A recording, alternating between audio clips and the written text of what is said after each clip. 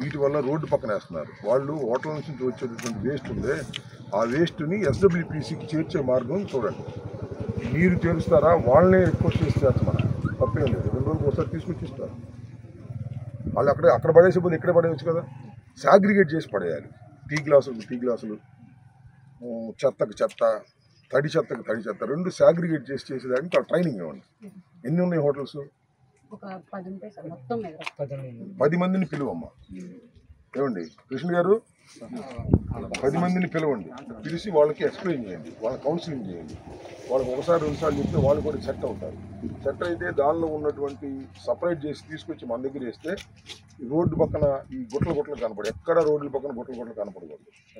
కనపడకూడదు అంటే ముందు ఈ చెత్త వేసే హోటల్స్ చిన్న చిన్న చిన్న ఫ్యాక్టరీస్ వాళ్ళతో ప్రమాదం మనకి. వాళ్ళనే మనం కౌన్సిలింగ్ చేసి కూర్చోబెట్టి మాట్లాడితే వాళ్ళ చెత్త అంతా తీసుకొచ్చి మన డంపింగ్ యార్డ్లో వేస్తారు. దాన్ని మనం సాగ్రిగేట్ చేసుకుని దాన్ని ఎరువుగా తయారు చేసుకుంటాం. ఒకటి. ఇది ఒకటి చేయండి. ఇక్కడ నుంచి అక్కడ దాకా టార్గెట్ పెట్టి మీ పంచాయతీలో ఉన్న రెండు వైపుల రోడ్లని స్ట్రెంగ్తన్ చేయండి. ఎన్ని మొక్కలు ఉన్నాయో గుంటలు ఎన్ని ఉన్నాయో చెప్పండి నాకు. నేను మళ్ళీ పదిహేను తారీఖున ఇప్పుడు వచ్చి ఆ మొక్కలను నాటే కార్యక్రమం. నేను తెప్పిస్తాను మొక్కలు ఫారెస్ట్ డిపార్ట్మెంట్ దగ్గర గానుగు ఉన్నాయి. మద్ది ఉన్నాయి. వేప ఉన్నాయి. ఇదేంటి? దీన్ని ఏమంటారు ఎర్రతురాయి ఉంది. పచ్చతురాయి ఉంది. నేను మొన్న చూశాను. మనకి ఏం మొక్కలు కావాలో చెప్పండి. ఆ మొక్కలన్నీ తెప్పిద్దాం వేద్దాం. నేను అనేది ఏంటంటే చాలా చోట్ల మనం చూస్తుంది ఏంటంటే మొక్కలు నాటడం ఫ్యాషన్. తర్వాత వాటి పట్టించుకోకపోవటం మనం జరుగుతుంది. మొక్క నాటుతారు. నేను కూడా చాలా చోట్ల దిగి ఫోటో దిగుతాం.